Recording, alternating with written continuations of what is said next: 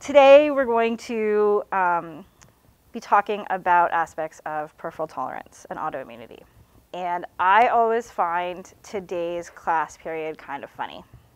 And the reason why I say that is that if you ask me and how I think about this material, I think about this material as being kind of really our last uh, set of material before we go into the clinical information. And so I think of today as our last um, sort of basic immunology day before we go into clinical stuff. And in general, when I, um, if I were to ask students, most students think today is the first day of clinical. So whether we call today a clinical day or a non-clinical day is perhaps a matter of uh, opinion. Um, in any case, we are going to be talking about um, autoimmunity and self-tolerance both today and Monday. This set of slides that is posted is meant for both days. There are some slides at the very end of this that I may or may not get to on Monday. Uh, I feel like every year I have to shove them in somewhere. And, and so this is, this is the first possible place. And if I don't have time, I'll move them to the second possible place. And if that doesn't work, I'll put them in the third possible place. Um, in any case, uh, if we think about autoimmunity, which is kind of where we're going here, uh, autoimmunity results from some sort of failure of tolerance mechanisms. I will also tell you that as we are going forward with a few different clinical types of immunology uh, things, I will talk about autoimmunity. I will also at some point talk about hypersensitivity. Um, and um, in the field, there is also something known as an autoinflammatory disease. I think that oftentimes people will lump those together um, if they are not uh, immunologists. So just so you are aware, when I, as an immunologist, say autoimmunity, I am thinking of you making an adaptive response to a self protein.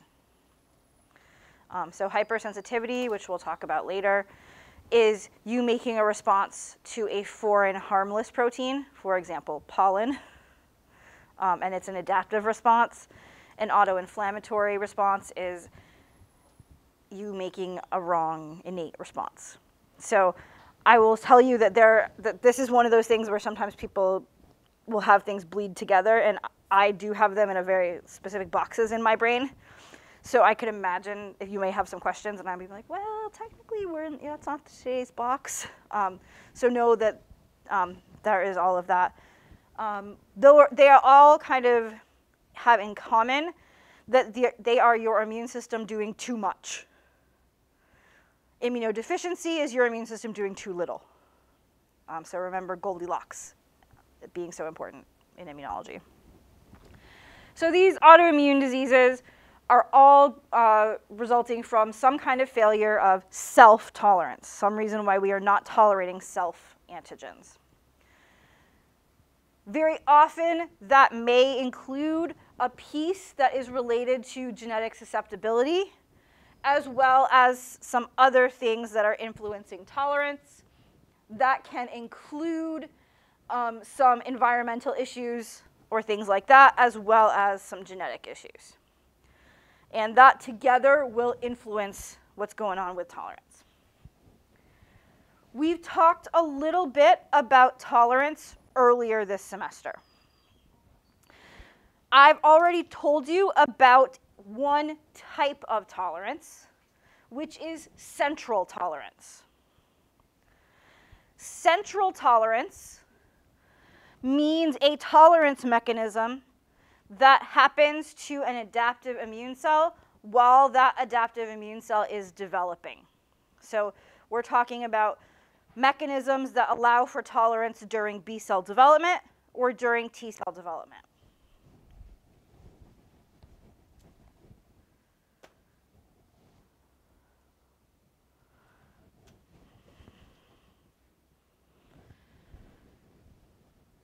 This is the information that we talked about earlier this semester about B cell central tolerance. So remember that if we have a B cell that is responsive to a self antigen, that B cell has three different options to allow for um, it to become tolerant. One is a uh, or one that leads to central tolerance. One, we can have deletion of that B cell, so we get rid of that self-reactive B cell. One, we receptor edit, so we make a new light chain um, so that our B cell is no longer self-reactive. Or we will um, anergize that B cell, um, so we have an anergic B cell in the periphery, and that B cell is no longer going to be making responses. It's no longer active. If you recall when we talked about B cell development, we saw one place, or we, we came up with one piece of this that was a little bit of a problem that sort of let us see a, a way that a self-reactive B cell could sort of slip through this process. Um, so what was the issue in the B cell development um, process where there was sort of a place where self-reactive B cells could still make it through. They could sort of slip through the cracks, although it's kind of a big crack.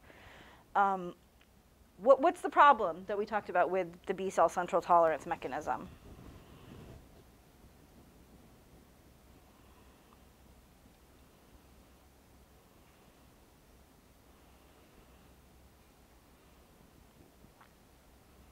Yeah, Sebastian.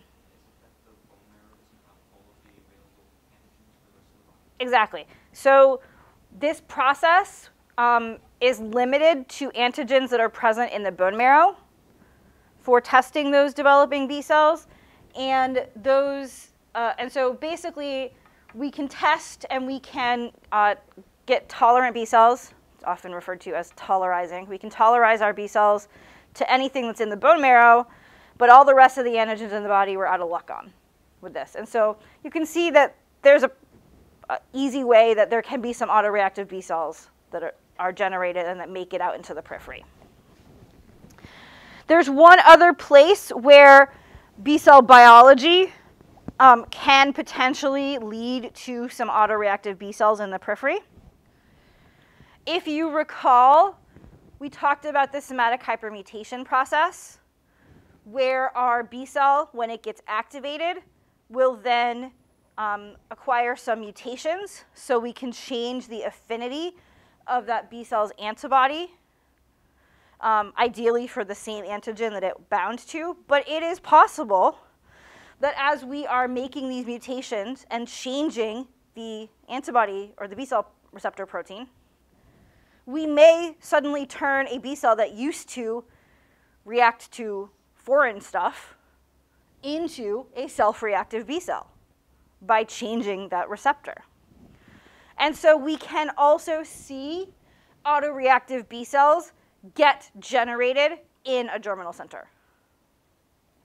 And so what you can notice is that we got some flaws in this B cell plan where there can be some autoreactive B cells.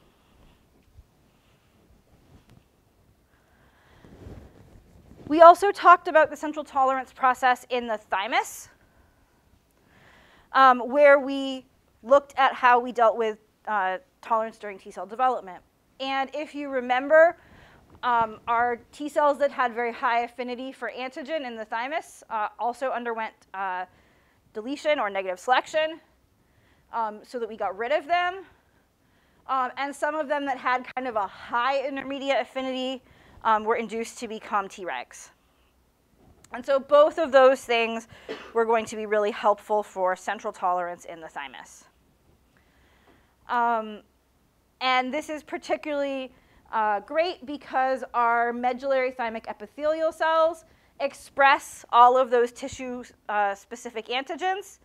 So with the, the B cells in the bone marrow, we have this problem of all the antigens aren't there. In the thymus, life is good because all the antigens are there. So we get to test T cells against every single possible antigen, self antigen anyway.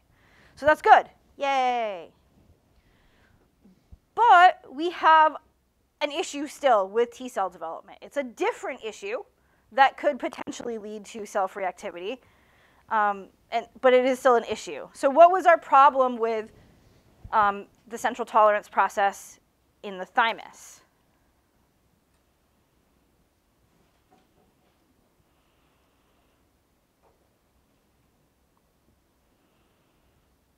Yeah, Rishi.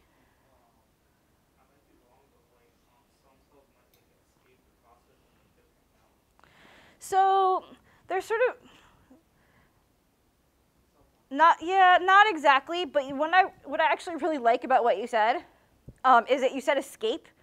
And on a past year, I like wrote a question about a cell that escaped the thymus, and students didn't know that I meant that like it wasn't supposed to leave. And I'm like, that's what the word escape means. Um, so good job using the word escape correctly. I like it. Aaron. exactly. The only the antigens that are present in the thymus are all self-antigens. And all of our T cells, in order to be positively selected and to leave the thymus, have to have this sort of very low affinity for self-antigen. So every T cell has to be kind of lowly self-reactive, have a little bit of self-reactivity. So again, there's a, there's a place here where you can see things are not going to be perfect. There are situations where patients have defects in central tolerance. I told you about one of those situations when I told you about T cell development.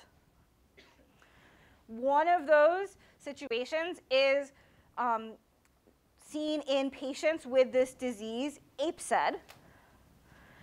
In APECED, patients are missing AIRE. You can see there's AIRE with an X through it. Um, so they don't make AIRE.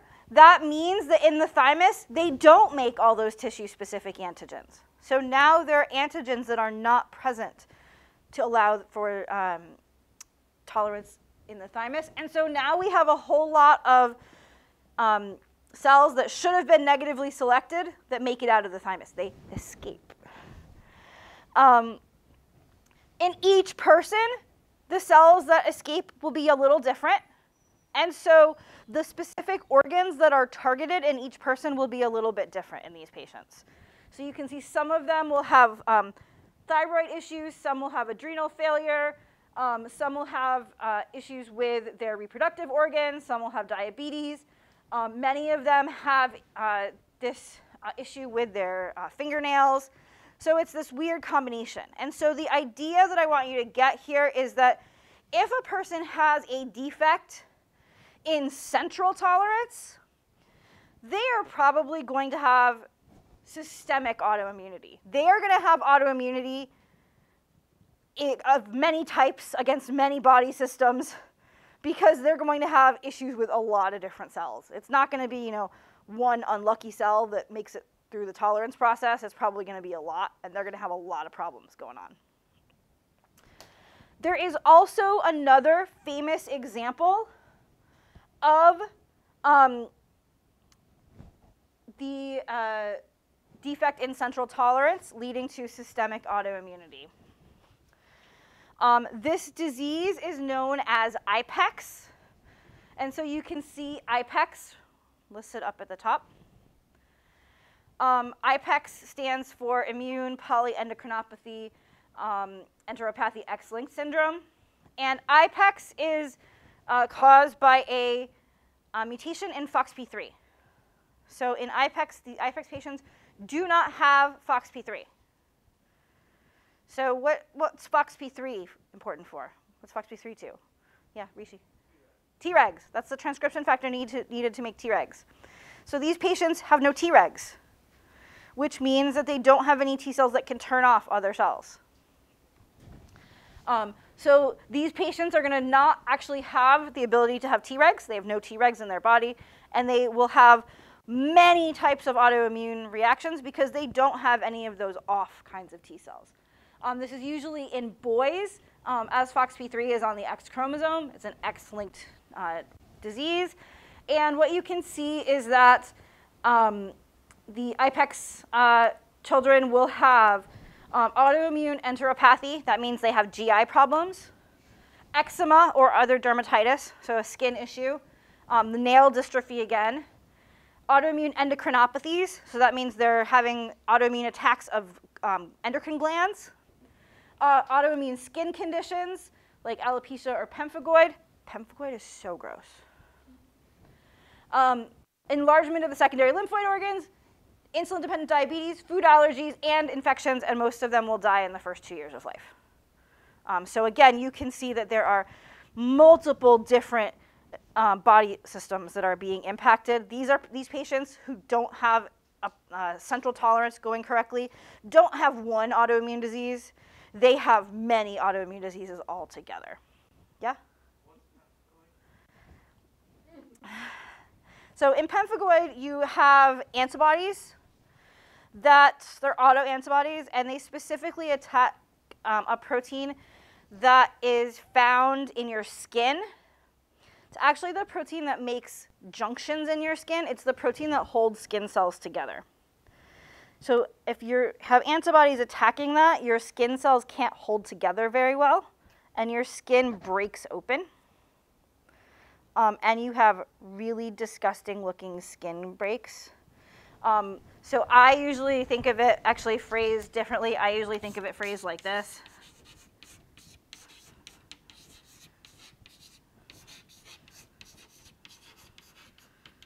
Uh, which is pemphigus vulgaris. Um, don't Google it unless you have a strong stomach. Um, and I'm, I assume that I will see the facial expressions of the people who are now Googling it. All right, so um, this is kind of what goes on with central tolerance. This information, this slide, gives us some information about some common autoimmune diseases. The thing that I want you to see on this slide, on this table, is the column on the far right, which is the frequency of some of these autoimmune diseases. We can talk about the specifics of some of these diseases as we go forward, but right now I want to look at the frequencies. So you can see that um, psoriasis, which is particularly uh, frequent, is present in 1 in 50 individuals. Um, type 1 diabetes, 1 in 800. And as you look at these autoimmune diseases and their frequencies, based on what I've told you right now, you might find those frequencies surprising. Because what you might realize is all of the holes in B cell and T cell development we easily identified holes in both B cells and T cell development. And yet, these autoimmune diseases are perhaps more rare than you would expect based on how obvious those holes are, right?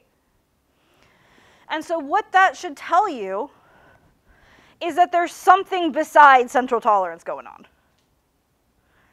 And happily, that is true there's this whole other layer of tolerance that does not apply to B cells and T cells when they are in developmental organs like the thymus and the bone marrow.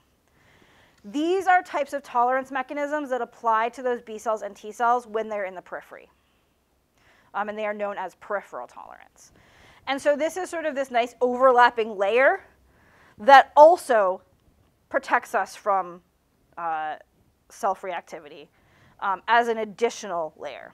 And so today we're going to be talking through the specific mechanisms of self-tolerance, um, specifically peripheral tolerance. And so here you can see a lovely slide. Um, that peripheral tolerance is acting in addition to central tolerance. So central tolerance is uh, how we deal with self-reactive cells um, in the organs where we are developing our lymphocytes. Peripheral tolerance is how we deal with self-reactive lymphocytes in the peripheral tissues.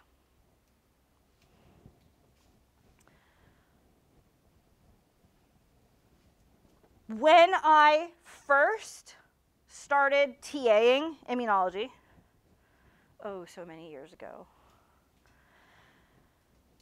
the person who uh, I was TAing for had a really specific way he thought about this peripheral tolerance stuff. And so the way he thought about it was that there were six mechanisms. And so in my head, it's there are six mechanisms. And so we're going to go through those six mechanisms. For each of them, we're going to think about how they get set up, but also we're going to think about how they could get broken. How could they get messed up in some way? I've been teaching this myself for a bunch of years now. I still feel funny because I teach them in a different order than the other person did.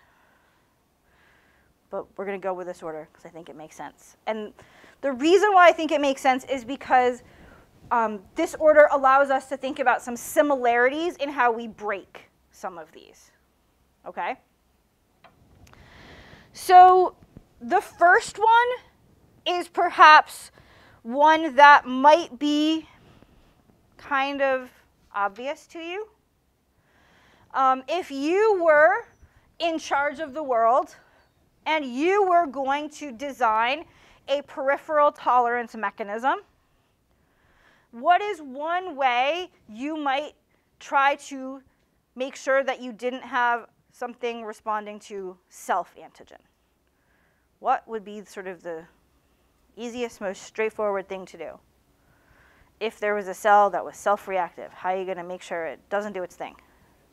What? You're going to kill it.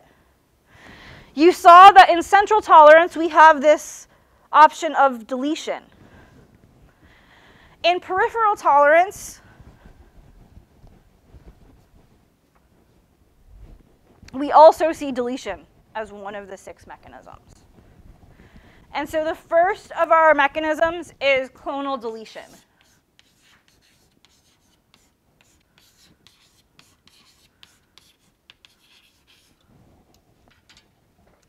And so with clonal deletion, um, sometimes we will have cells that are self-reactive that will undergo apoptosis when they are triggered in the periphery.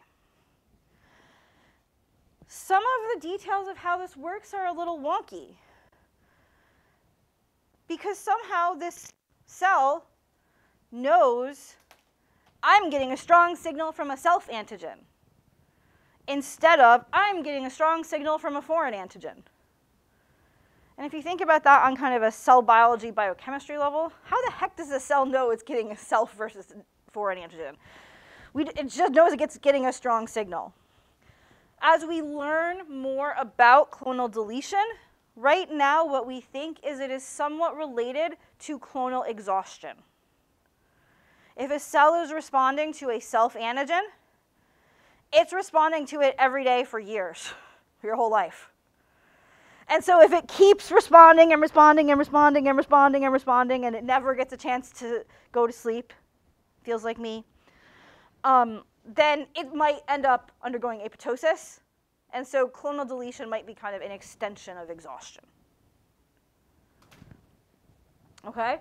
So this one's a pretty easy, straightforward mechanism of peripheral tolerance. The next one is somewhat related. Um, it's also one that actually you secretly know about, but you don't know that you know. And it is related to something that you learned about B cells when we talked about B cell biology. So remember that for a B cell to make a very strong antibody response, with a high level of antibodies. Um, class switched antibodies, antibodies of high affinity, all that good stuff. That B cell requires T cell help. So the B cell, if it doesn't have T cell help, the B cell is just going to kind of hang out and be like, hello, I'm ready to be activated. But if there's no T cell, the B cell can't be activated.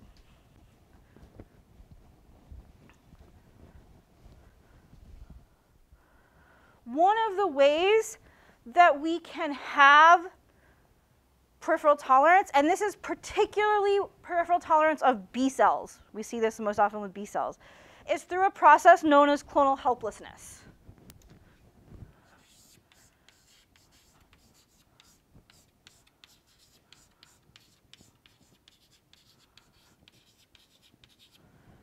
And so we can have a situation where the B cell might make it into the periphery, but the T cell that responds to the same antigen, which could give the help, doesn't make it to the periphery.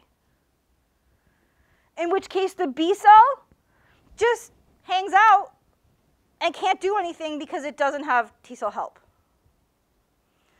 So you could imagine a B cell that is responding to a self antigen. And it's responding to a self antigen that's not present in the bone marrow. It's going to make it out of the bone marrow because its antigen wasn't there. But remember, T cells are seeing all the antigens in the thymus. So the T cell could get deleted because all the antigens are in the thymus, even though the B cell can't get deleted because its antigen is, is missing. When that B cell gets out into the periphery, it's not going to find its matching T cell in order to get help. And so that B cell is going to uh, not be able to make a lot of antibodies, antibodies with high affinity, all that good stuff, because that B cell is going to be helpless. Um, and so clonal helplessness is the second of our uh, mechanisms of tolerance. I do these two first because of one really big thing that they have in common. So let's imagine ways that you could break deletion or that you could break helplessness. If you get in a situation where you have a cell, it's autoreactive, and you delete it, is it possible to undelete it? No, you are not going to bring your cell back from the dead, right? When the cell is dead, the cell is dead. Both of these involve a cell dying. And so in both cases, you can't really break them. You could have them not happen in the first place, but you can't like turn them back. All of the other ones have a way they can kind of get turned back. These you can't, because a cell died and you're not bringing it back to life. And so that's why I put these two together. The next two also have some things in common. Um, when I think of these two, one of them I think is pretty straightforward. The other one I think is one that people like, at least I used to find really confusing. Um, then I actually learned some real life examples of it, and I was like, oh, that's all. That's all it was. You made it sound so much more complicated. So there are going to be some examples, and hopefully the examples help you get what's going on there. Okay? So the, the next mechanism, the, the uh, third mechanism, is clonal suppression. Um, clonal suppression is really just a fancy way of saying you make some Tregs.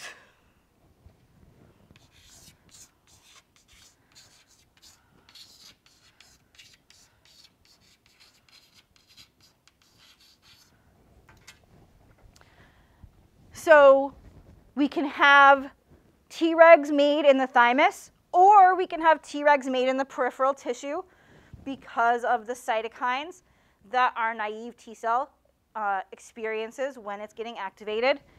In either case, we're going to make regulatory T cells that express the transcription factor FOXP3. And those transcription fact and those cells with that transcription factor can inhibit other cells. And so one way that these autoreactive cells, these red autoreactive cells, um, can be limited can make sure they don't respond to self-antigen is that Tregs can come and shut them off. So we can have clonal suppression.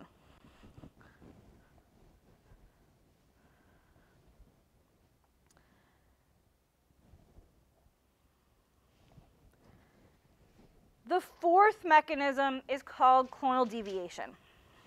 And this is the one that sometimes confuses people a little bit. Yep. No, Tregs can turn off all sorts of cells. So they can turn off B cells. They can actually, there's some data about them turning off macrophages. They, you can kind of imagine they can turn off all the cells. okay?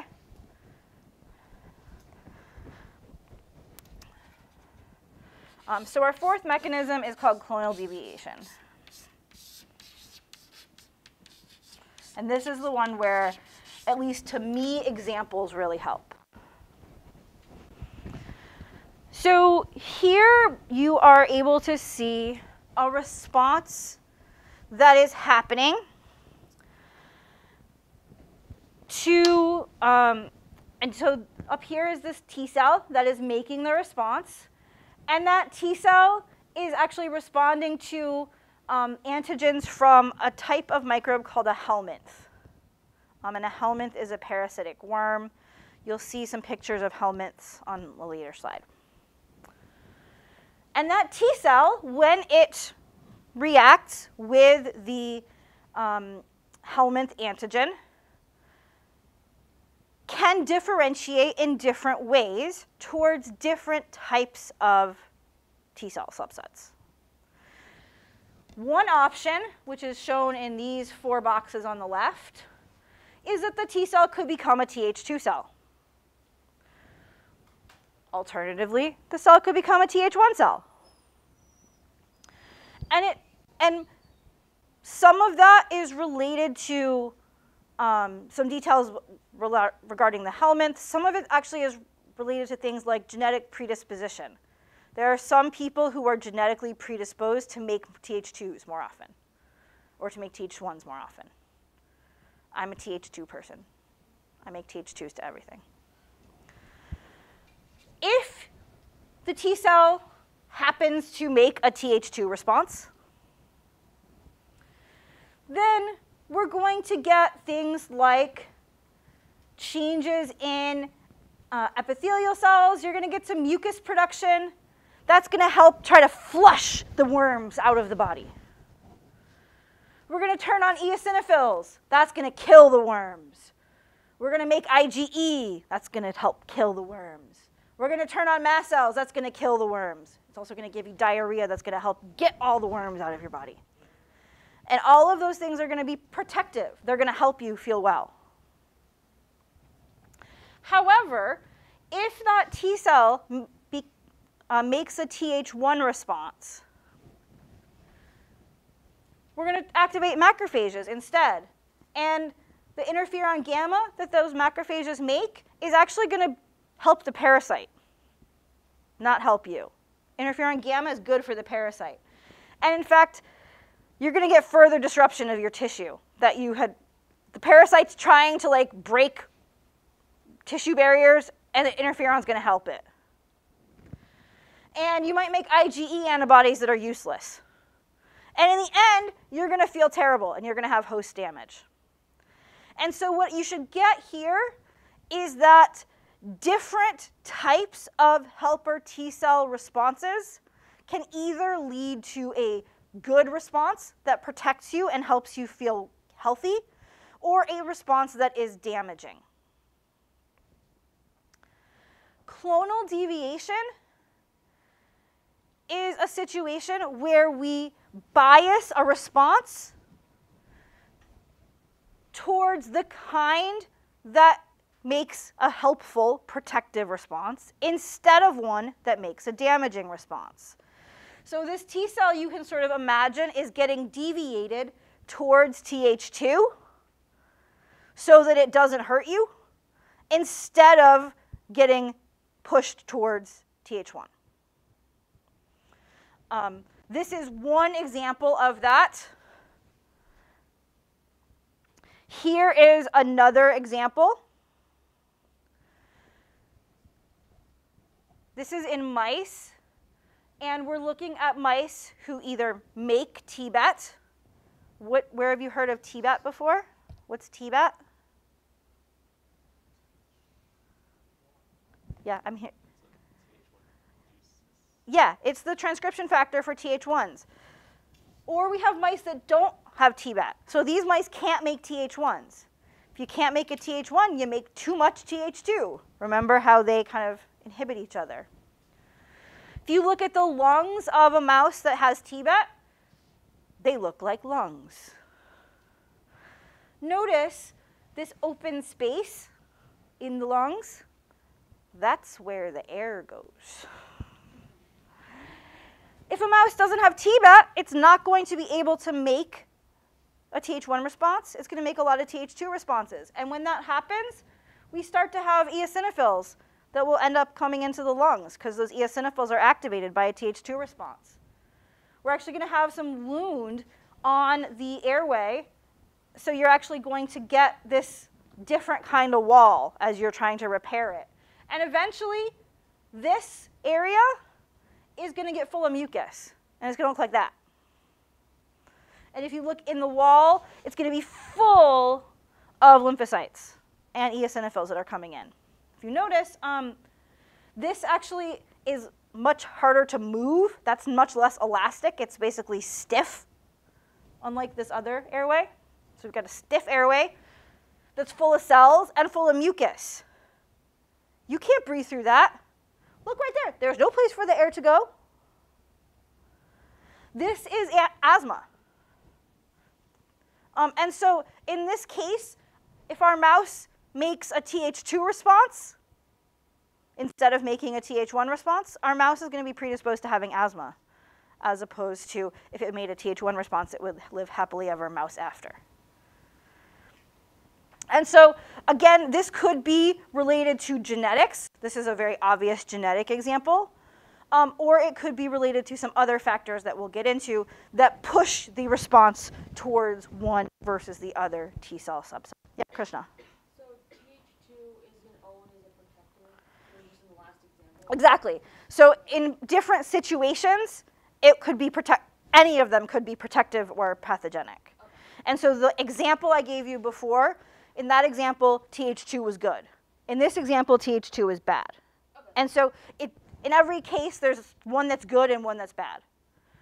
And this also, you can extend it when you get to TH17s and things like that. There's one that's good and some that are bad. And so the idea is we push the T cells towards the good kind for deviation and away from the bad kinds. So that even if we're getting kind of a self response, it's not the kind that's going to cause damage.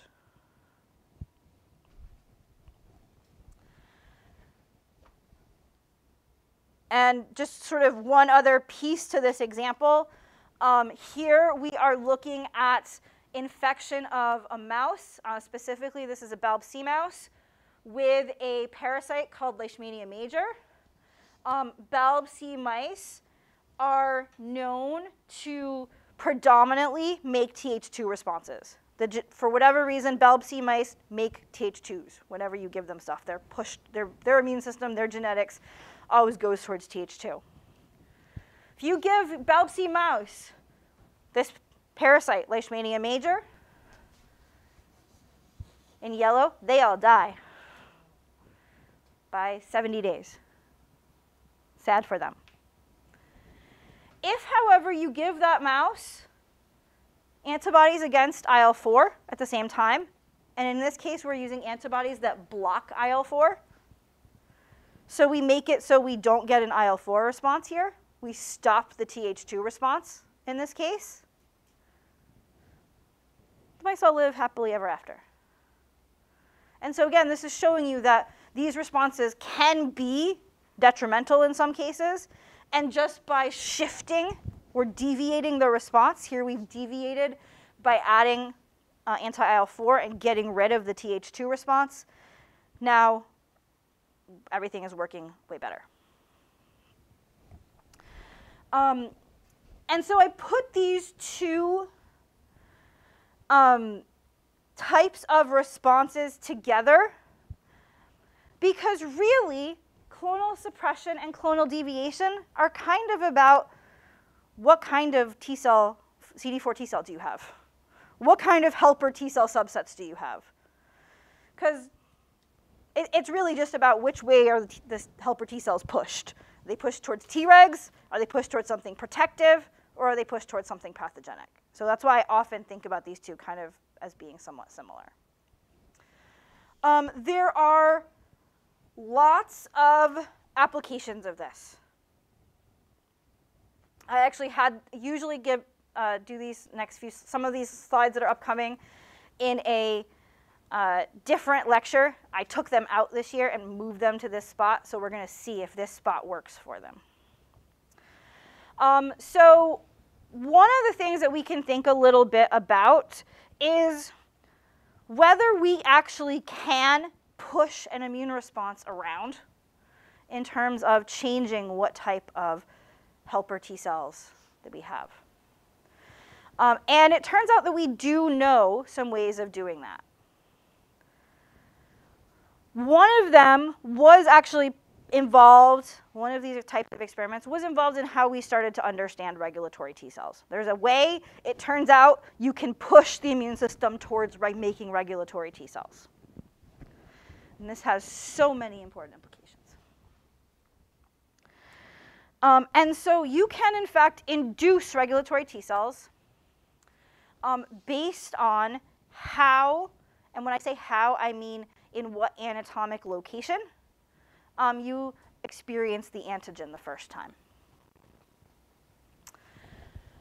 So um, this is refer referred to as something called oral tolerance. And so the big picture idea here is if you first experience an antigen um, by ingesting it in the mouth, you end up pushing tolerance to that antigen. And so here, first we're going to actually look I'm going to go through this in a slightly weird way for the experiment. So let's imagine first we've got a mouse, and we give this mouse some antigen called ovalbumin. It's a chicken antigen. Mice should make a response to a chicken antigen because mice are not chickens. And beforehand, the mouse were fed mouse food, which is the control. Then the mouse makes a really good response to ovalbumin. All of that's everything going as it should. If, however, you feed the mouse some of ovalbumin first, so the first time the mouse's body experiences ovalbumin is uh, orally, and you then do the exact same procedure where you inject that ovalbumin to the mouse, the mouse no longer responds to ovalbumin. It doesn't make a response to ovalbumin. And if you, we look, we actually see that we have a whole lot of regulatory T cells that respond to ovalbumin. And so it seems as though there is actually an active downregulation of responses um, when we encounter antigens in the GI tract. Um, partially because of the types of macrophages and dendritic cells there, they really push T cells that come by to turn into regulatory T cells. Um, why does it make sense evolutionarily for this to happen?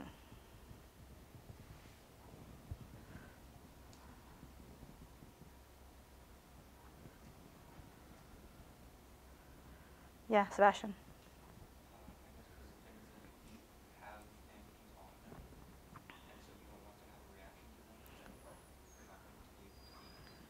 Exactly. You need to be able to eat.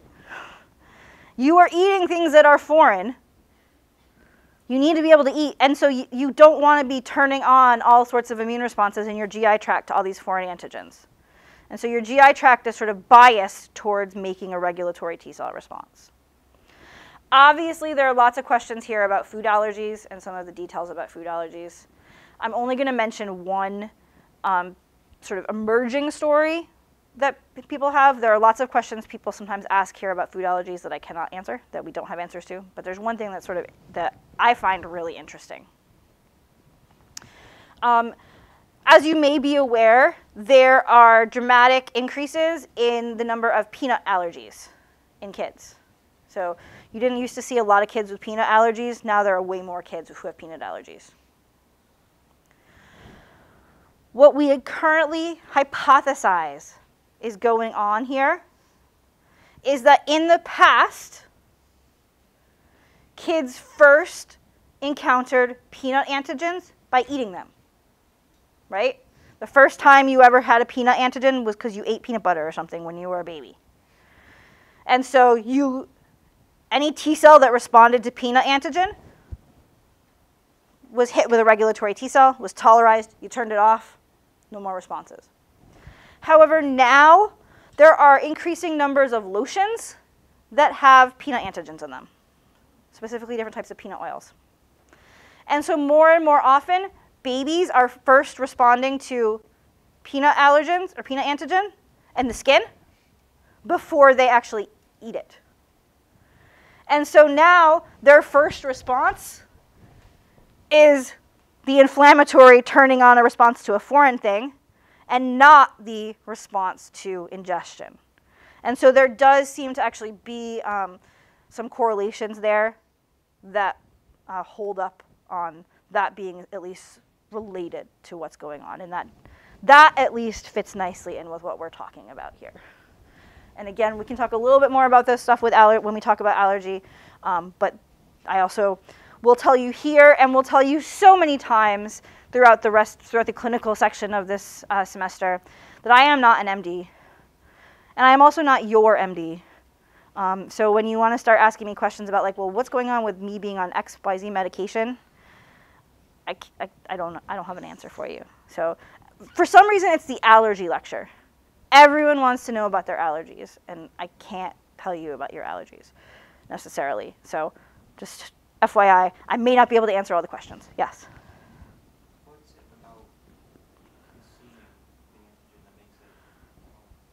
So what we think is going on is that the macrophages and dendritic cells that live in the GI tract push T cells towards um, being regulatory T cells. So those macrophages and dendritic cells are more likely to make things like TGF beta and IL-10 so that if there's a T cell that's around, those T cells get pushed into being a regulatory T cell.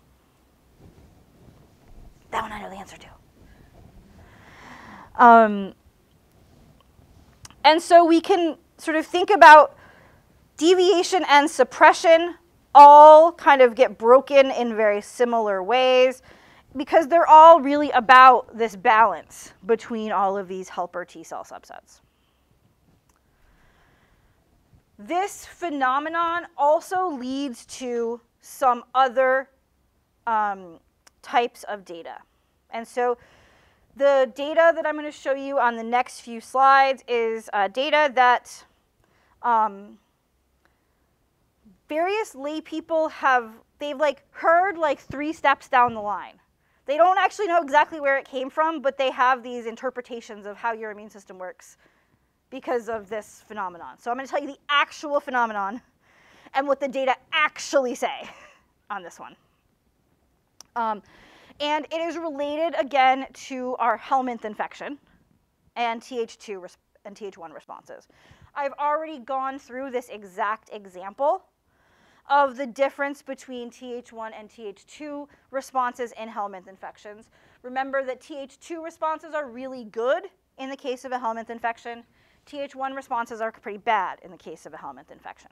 So if you are infected with a helminth, you want to make a Th2 response. Okay, fine.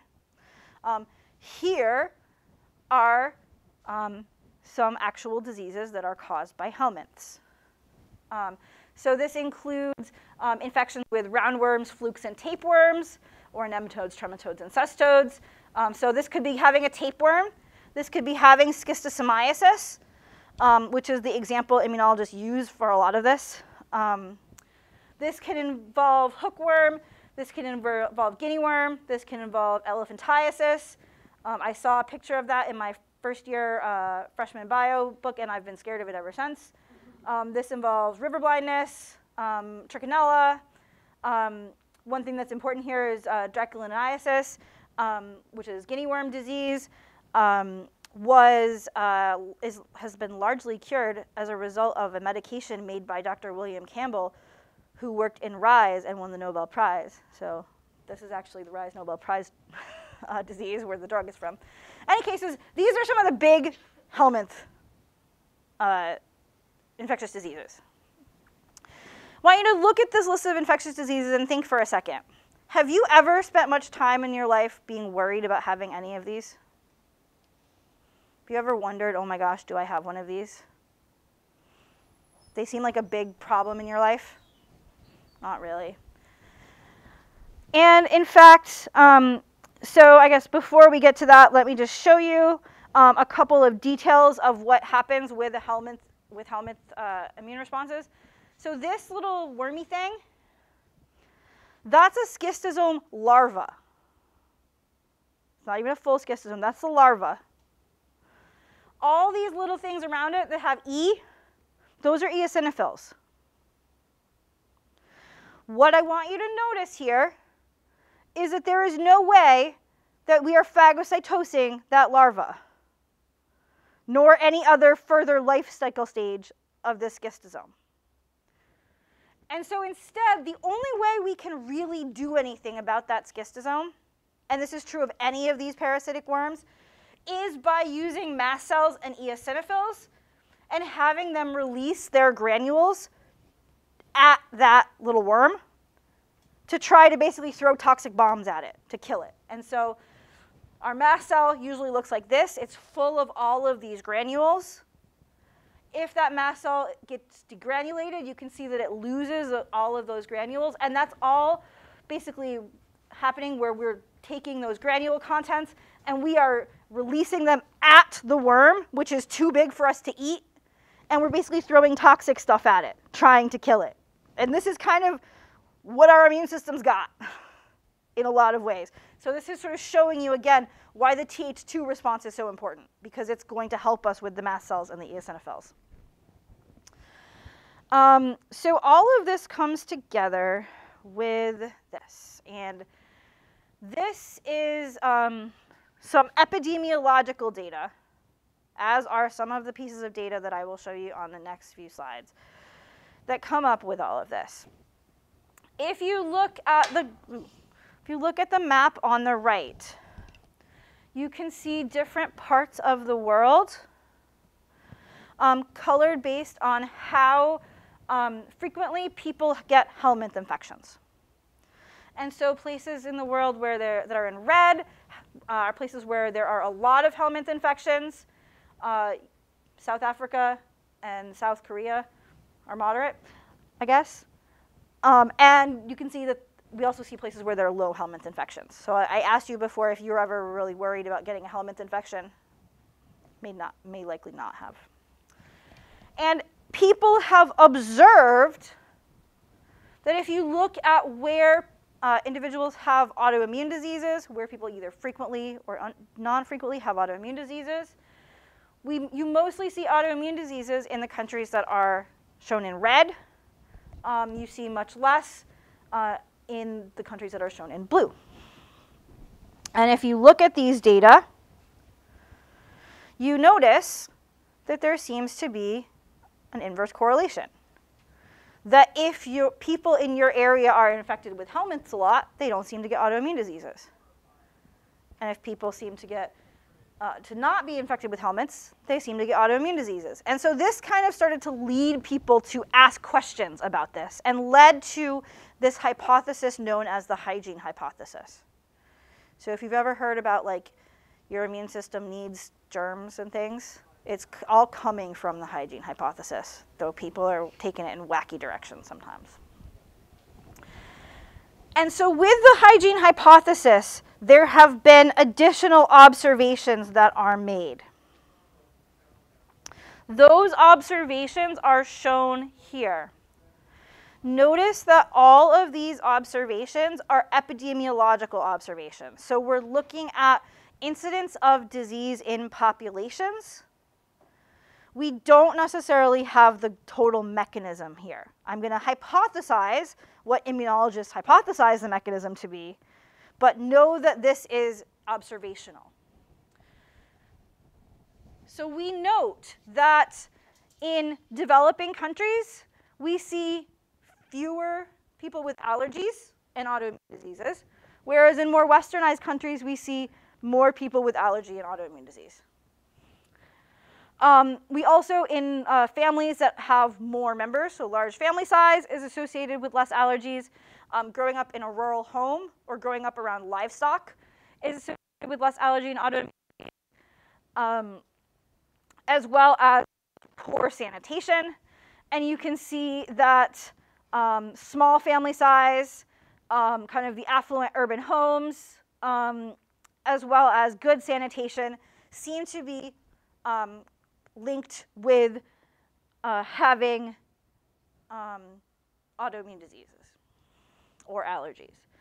And so this um, is sometimes sort of hypothesized in this, this idea that perhaps in these situations where your immune system is not seeing helminths, is not seeing the right microbes, um, the immune system is held back, um, it gets poorly educated, exercised, and inexperienced, and it starts fighting imaginary infections. Uh, I think of it a little bit differently than that.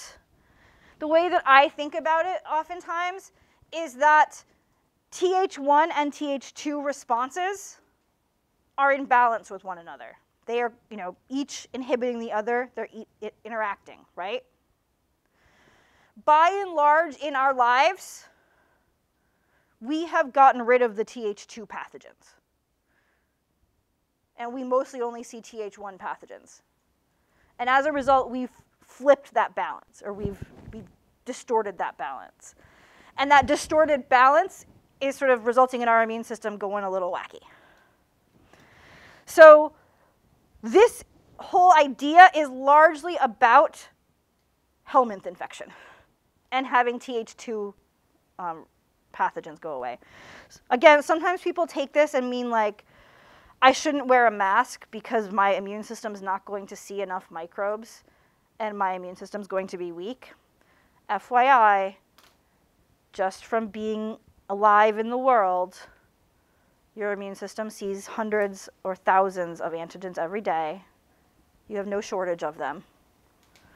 Um, I will say that when I was in graduate school and any of us had allergies, we would laugh at each other and be like, Your mom didn't let you eat enough dirt as a kid.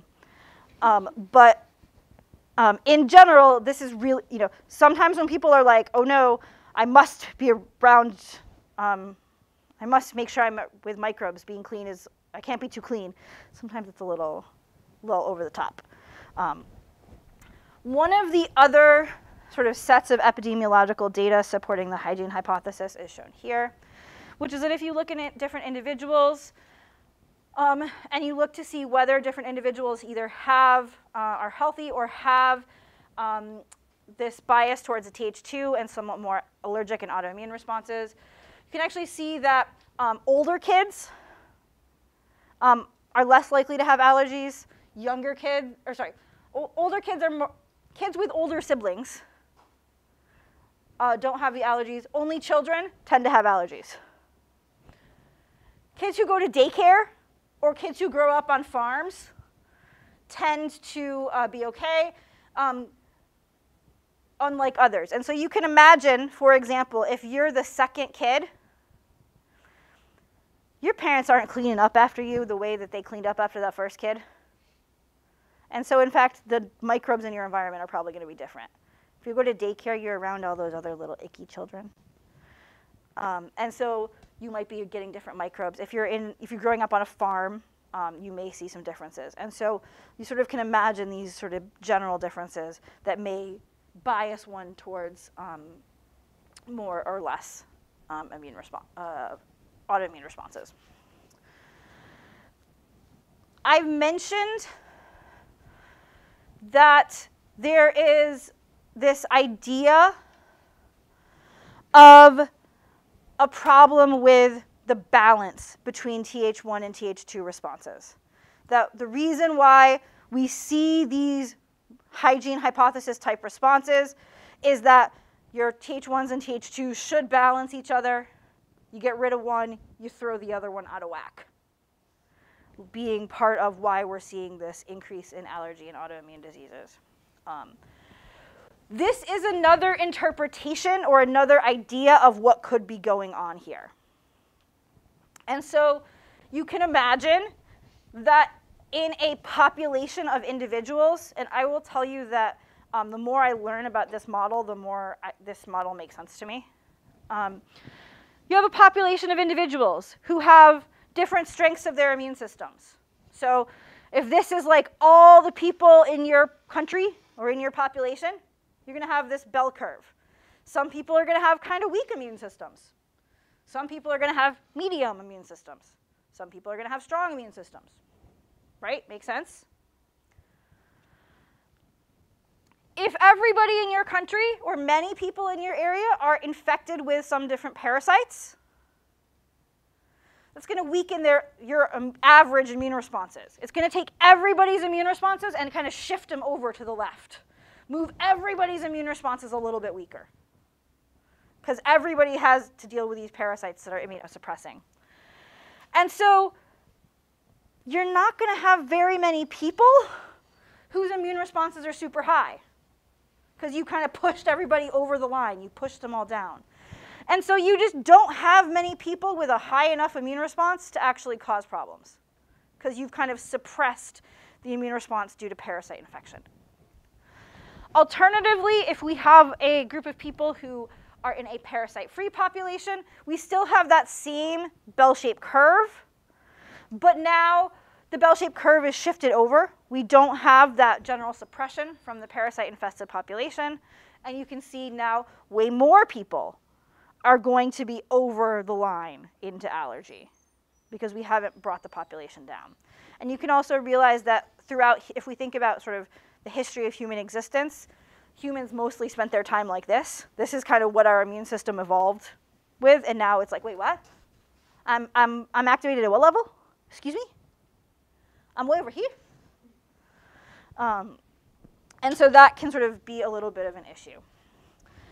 We also know about one other specific example um, where we can understand how a particular set of genes as well as an environmental stimulus come together to actually lead to um, an uh, autoimmune and autoinflammatory disease. And so this is, there's this example that's Crohn's disease as well as this example that's been worked out really well in the past five years or so for celiac, um, which I will start us with on Monday.